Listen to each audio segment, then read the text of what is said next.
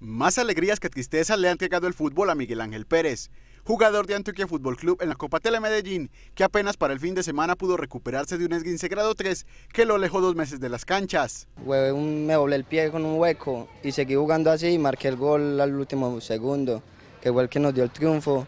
Más allá de los dolores que pudiera generarle la lesión, lo que más sufrimiento le producía a Pérez era dejarse arrebatar el rótulo de goleador de la Copa Telemedellín de fútbol, por lo que su ansiedad era creciente antes de entrar al campo. Claro, sí, entro con muchas ansias hacer goles, otra vez a las canchas que hace dos meses no tocó balones, todo eso. Ansioso por hacer más goles.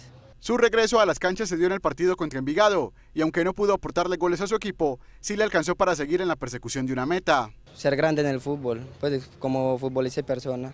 Con 19 años, Miguel Ángel Pérez espera llegar al fútbol profesional y deleitar con sus goles a diferentes aficionados en el mundo.